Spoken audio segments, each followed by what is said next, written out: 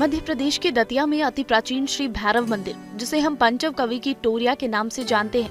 वहाँ पुजारियों और सेवादारों के बीच विवाद गहराता जा रहा है। श्रद्धालु और सेवादारों का आरोप है कि मंदिर के पुजारी का मनमाने रवैये के कारण मंदिर में सेवा और पूजा का कार्य नियमित रूप से नहीं हो पा रहा है। जो साधक बाहर से अनुष्ठान और साधना करने यहाँ ठहरते हैं, उनसे पुजारी की ओर से पैसा लिया जाता है।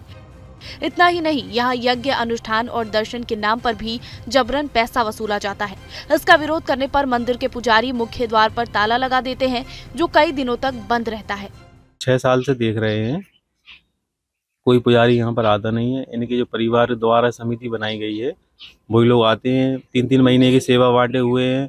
अब हम लोगों ने जब कंप्लेन की तो उनने ताला डाल दिया माई का। सेवा नहीं करने ये बोलते हैं कि अगर तुमने हमारी कंप्लेन की तो जी तुम लोगों को सेवा नहीं करने देंगे। तो ये पहले से कभी मंदिर से जुड़े हुए थे क्या? हाँ ये रजिस्टर्ड पुजारी है ना ये मोनू दुबे। सॉरी यज्ञदत्त दुबे है उनका नाम मोनू है। ये गांजा स्मैक भी बेचते थे पहले डेढ़ साल जेल रह के आए हैं। ये डकैती के केस में भी जेल रह के आए हैं ये इनकी जाँच की जाए। और हम लोगों को मारने की धमकी देते हैं कि जंगल ही है इसे जंगल में मार के फेंक देंगे तुम्हें हम। जिस वजह से बाहर से आने वाले भक्त साधक और श्रद्धालु परेशान होते हैं।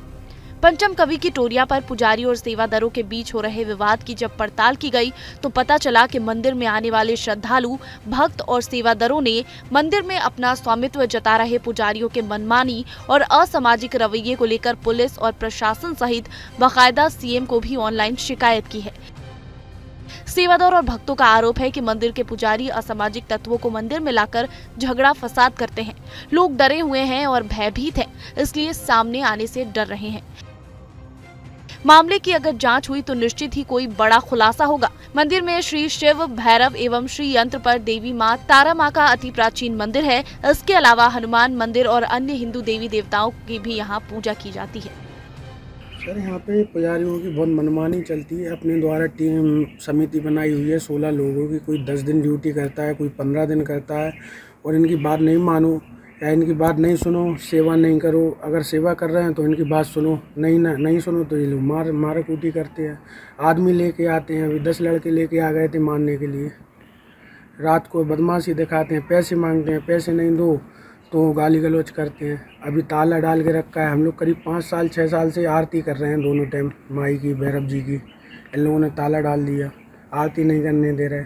और चूँकि हमारी परंपरा मतलब हमारे तीन पीढ़ियों से हमारे यहाँ मंदिर पे आने का है पूरा मंदिर का जीर्णोद्धार हमारे घर को ने कराया जो लोग आते भी नहीं थे सर। अभी सात साल से आठ साल से आने लगे और ये पैसे के चक्कर में मंदिर पे आए। भक्तगढ़ ज़्यादा आने लगे तो वसूली करने लगे। कौन लोग हैं ये लोग? जी सौरभ कब्जू माधव भार्गव भैयन श्रीकांत कब्जू और ये पुजारी दो रजिस्टर्ड हैं जो, पुजारी तो आते ही नहीं थे। अभी हमने शिकायत की, जब एसपी साहब और कलेक्टर साहब को आवेदन दिया, तब से ये लोग आने लगे हैं सात आठ दिन से।